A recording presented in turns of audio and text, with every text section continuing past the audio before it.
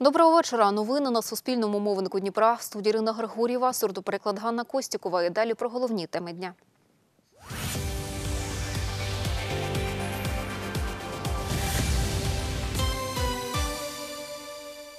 На в'їзді до Дніпра почали зважувати фури. У такий спосіб у місті планують боротися з руйнуванням доріг. пройшов ваговий контроль, затримали на хвилин 10, е,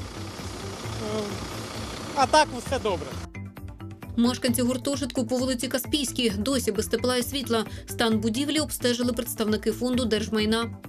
Ми хочемо, щоб е, місто прийняло на свій баланс е, е, гуртожиток номер 16 по вулиці Каспійській. Тому після того, як місто прийме на свій баланс, воно зможе призначити нового балансоутримувача. У Дніпрі презентували сайт, який порівнює програми топ-10 кандидатів у президенти. Він допоможе виборцям обрати свого кандидата. Це ті речі, які це, це, це те, що стосується міжнародної політики безпеки і оборони і інститутів влади. А по соціально-економічному блоку ми брали ті питання, які е, громадяни України теж в соцопитуваннях визначають як проблему, яка стосується їх особисто або країни.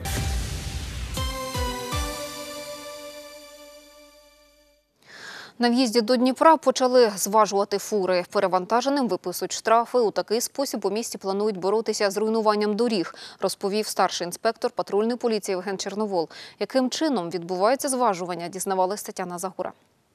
Підготуйте, будь- ласка, товарно-транспортну накладну та посвідчення водія, свідоцтво про реєстрацію на транспортні засоби. Все, все, все наявності. Будь ласка, під'їжджайте ближче до вагів, проведеться процедура зважування та поїдете далі. Водій Володимир Баранік працює за кермом 44 роки. Каже, перегрузу немає. Сьогодні везе товари для пошти. На даний момент, зважаючи на стан наших доріг, я вважаю, що це зважування не дуже потрібне. Доріг немає. Що ми контролюємо? Взагалі, на майбутнє це необхідно, щоб не псували дороги, так як з перевантаженням їздять багато машин. Віталій Підкоморний працює водієм 15 років. Каже, найчастіше перевозить продукти харчування, будівельні матеріали, метал. Віталій додає, зважувати потрібно. Зазвичай з перегрузами їдуть зерновози, які псують дорожне покриття. Пройшов ваговий контроль, затримали на хвилин 10, е, а так все добре. Я перевантажень ніколи не везу. Два пункти, на яких зважують вантажівки, почали працювати з 11 березня на в'їздах до Дніпра. Один розташований на трасі напрямку Дніпро-Решетилівка, другий на трасі напрямку Дніпро-Кривий Ріг, розповідає Олександр Маценко, старший інспектор управління Укртрансбезпеки в області. Зважування проводимо приладом автоматичним для, е, для зважування. Е, е, Це блок управління, який зважує. Е, Це плити. За допомогою Wi-Fi з'єднуються з приладом. Ми дивимося на роздруківки, сьогоднішня дата, время, коли проходило зважування, номер талона, номер транспортного засобу, який проходить зважування, і вісі. Мінімальний штраф за перевантаження починається з 10 євро. Максимальний штраф, який складали інспектори, понад 6 тисяч євро, каже Олександр Маценко. спеціалізований розрахунок, куди е, інспектори вводять е, дані по транспортному засобу, по перевізнику, е, вводять кілометраж від місця загрузки до місця вигрузки, вводять цифру по перевантаженню. І програма сама розраховує. Зваження проводиться, аби зменшити руйнування дорожньої частини, каже старший інспектор відділу безпеки дорожнього руху управління патрульної поліції в області Євген Чорновол. Додає, зупиняють вантажівки, які перевозять більше 20 тонн. Коли проходить процедура зважування та встановлюється факт того, що транспортний засіб перевозить е, вантаж е, в кількості більше, ніж передбачено законодавством, ми складаємо постанову за статтею 132 Адмінкодексу України, е, де сума штрафу становить 510 гривень. До кінця 2019 року встановлюють ще два пункти габаритно-вагового контролю, на які разом з двома вже встановленими було витрачено 28 мільйонів гривень, каже заступник міського голови Михайло Лисенко. Гроші пропорційно виділили з міського та обласного бюджетів. Это стационарные пункты. Це стаціонарні пункти, які будуть стояти постійно. Вони не пересувні. Окремо, додатково, ми придбаємо пересувну станцію для того, щоб у разі необхідності співробітники поліції змогли заміряти авто, що просвизнуло у місто. На початку 2020 року такі пункти буде встановлено на всіх семи в'їздах до міста, додав заступник міського голови. Тетяна Загора, Іван Пономарьов, Олександр Шалдибін. Новини 51-го. За одну ніч криворізькі поліцейські затримали 14 осіб з наркотиками та зброєю, повідомила речниця Криворізького відділу поліції Юлія Цуркаленко.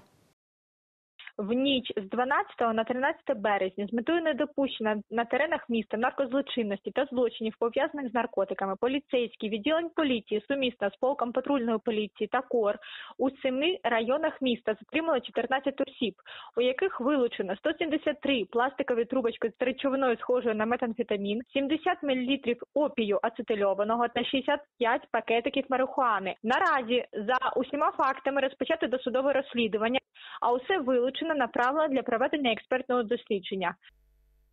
Нагадаємо, 27 лютого на останній сесії міськради Кривого Рогу депутати розглянули питання про недовіру керівнику Криворізького відділу поліції Роману, Роману Ткаченку. За словами автора проекту рішення, депутата міськради Миколи Колесника недовіру висловили через те, що криворізькі поліцейські не брали участі у масштабній операції, яку проводив у Кривому Розі Київський відділ по боротьбі з обігом наркотиків. Більшість депутатів резолюцію не підтримали, але звіт про роботу поліції вирішили заслухати під час чергового засідання.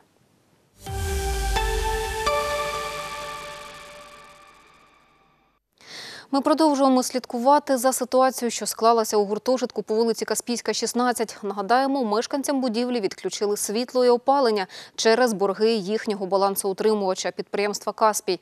Воно заборгувало 130 тисяч гривень за електроенергію Дніпровській паперовій фабриці, яка подає світло будинку.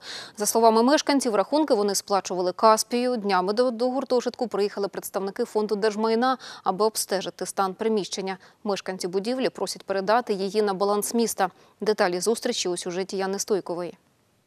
Обшарпані стіни та пліснява. За проживання у цьому гуртожитку, де немає опалення та електропостачання, мешканці сплачують 2 тисячі гривень, розповідає Тетяна Корнічук. Жінка мешкає тут 11 років, заселялася як працівниця паперової фабрики. У 2014 році, розповідає, коли змінилось керівництво підприємства, гуртожиток передали на баланс дочірнього підприємства «Каспій». в октябрі місяці перед отопітельним сезоном, а потім відключили 15 лютого світло. Гріємося е, газовими балонами, ну, з горілками ставимо каструльку, зверху е, ще є кирпичики червоні, які держать тепло. На ніч нагріємо грілки і ну, дитину саме більше обогріваємо, звісно. А світ е, чоловік зробив від акумулятора автомобільного. За словами Валентини Групової, мешканці щомісяця сплачували рахунки. Це як робила е, бумажна фабрика, то нас вищитили заробітні плати.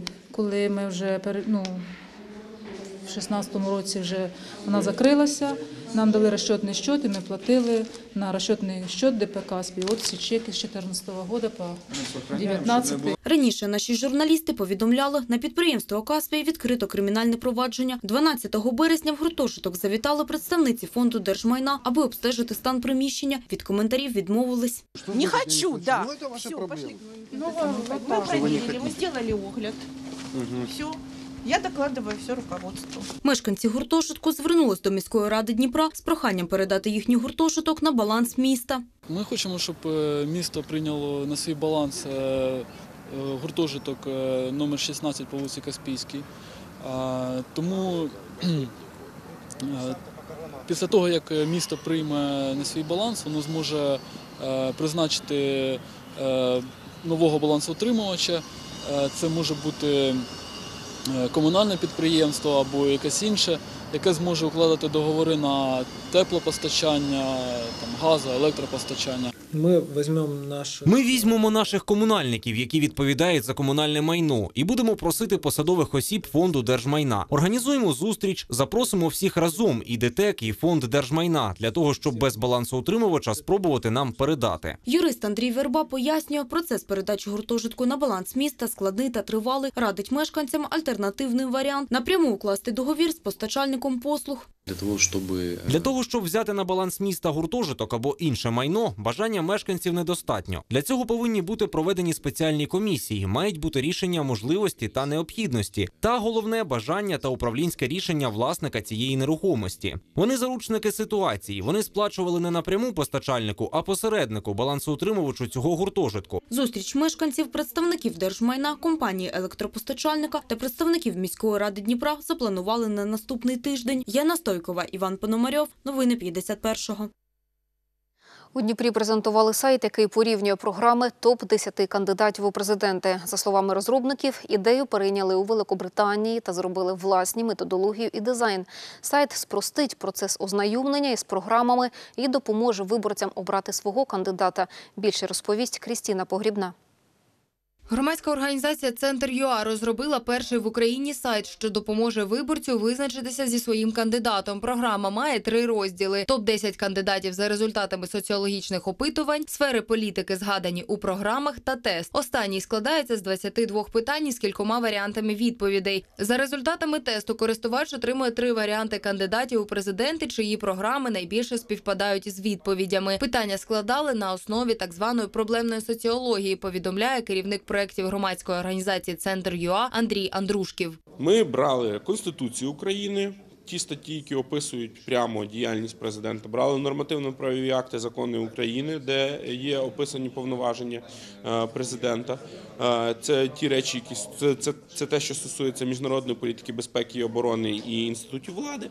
А по соціально-економічному блоку ми брали ті питання, які е, громадяни України теж в соцопитуваннях визначають як проблему, яка стосується їх особисто або країни. Вже під час презентації деякі спостерігачі встигли скористуватися онлайн-інструментом. Відвідувач заходу Антон каже, що не очікував отриманих результатів. Мені здається, що робити вибірку з 10 кандидатів це не дуже правильно, бо їх там значно більше. І якщо мета цього тесту справжня, то е, змусити людей голосувати не за персоналі, а саме за програми, то ми маємо також звернути увагу і на тих інших 30 кандидатів, е, 30 кандидатів, які були проігноровані в цьому тесті. Керівник проекту Андрій Андрушків розповів, що інструмент буде працювати на постійній основі. У майбутньому команда планує зробити регіональні підсайти обласних центрів для місцевих виборів. Крістіна Погрібна, Богдан Антоненко. Новини 51-го. У Кривому Розі розпочала роботу спеціальна комісія із перевірки якості продуктів у школах і дитсадках. Які саме продукти перевіряти, визначали батьки шляхом онлайн-опитування, а місце перевірки члени комісії призначали безпосередньо у день виїзду, аби уникнути упередженості, повідомила спеціалістка Криворізького інноваційного методичного центру Марина Підвалюк. До однієї з таких перевірок приєдналися журналісти.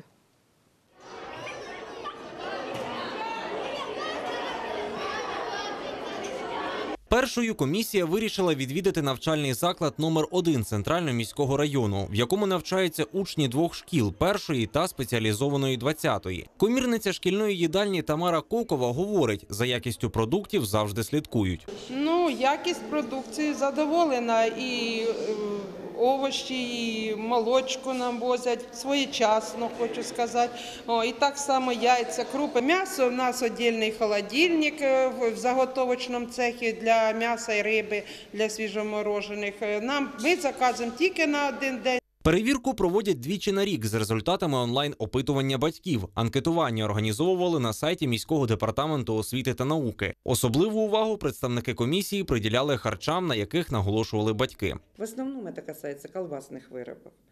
Здебільшого це стосується ковбасних виробів. Це основне. Молочні продукти, йогурти, сметана, яйця. Беремо ті продукти на дослідження, які наявні на сьогоднішній день. Сьогодні взяли м'ясо, яловиче, молочну продукцію, сметану, масло вершкове. Виникло питання по кабачковій ікрі, то взяли ще ікру кабачкову та яйця. Взяли ікру кабачкову і яйця. Доки тривала перевірка, робота шкільної їдальні не припинялася. Учні класами приходили поснідати на перервах. Тож ми поцікавилися думкою дітей стосовно меню. Мені дуже подобається борщ. Це дуже смачна страва. Мені дуже вона подобається. Е, Картопля з м'ясом, котлети. Це все, це все смачно. Різноманітно, кожен день щось нове. Овочеве рагу, піца дуже смачна. Дуже гарно готують, все влаштовує. Меня очень устраивает. Мене дуже влаштовує харчування, тим більше, що для моєї дитини, згідно медичних рекомендацій, організували індивідуальне дієтичне харчування. В нашому випадку це овочева дієта. Їжа дуже смачна, незважаючи на те, що є певні обмеження, і готувати цю овочеву дієту дуже складно. Диета очень сложная. Вилучали продукти фахівці Криворізької міжрайонної державної лабораторії Держпродспоживслужби, які проводитимуть експертизу. Перевірка триватиме до 29 березня. Комісія збирається вибірково проінспектувати заклади в кожному із семи районів Кривого Рогу. Микола Домашов, Дана Олійникова. Новини 51-го. На цьому у мене все. Дякую за увагу. Бережіть себе.